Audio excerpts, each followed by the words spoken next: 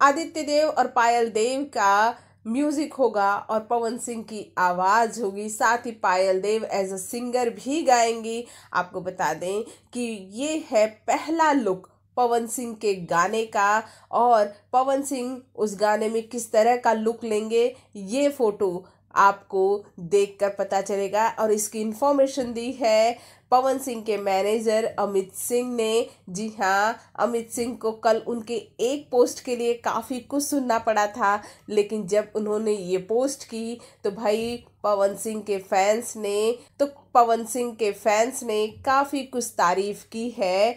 अमित सिंह के साथ ही आपको बता दें, जो ये पवन सिंह का सॉन्ग होने वाला है, उसके बारे में ज़्यादा इन्फॉर्मेशन तो नहीं है, लेकिन अगर आदित्य देव और पायल देव इस गाने में अपनी म्यूज़िक दे रहे हैं और पायल देव अपनी आवाज़ दे रही हैं तो आप समझ जाइए, ये बॉलीवुड वाला सॉन्ग शूट हो रहा है।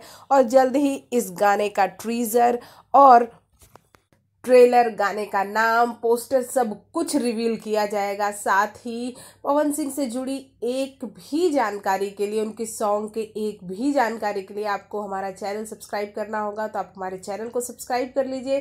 साथ ही साथ आपको ये बता देते हैं कि ये आज पवन सिंह एक गाना शूट कर रहे हैं और भोजपुरी वाला जो सॉन्ग होगा, जी हाँ भोजपुरी का जो सॉन्ग होगा, उसे भी बहुत जल्द पवन सिंह शूट करेंगे और पोस्टर वे पोस्टर। अब पवन सिंह की बारी है, क्योंकि पूरा भोजपुरिया जहाँ तो अपने गाने निकाल चुका है, लेकिन कट, लेकिन इकलौते पवन सिंह है जिनका गाना अभी तक नहीं निकला है।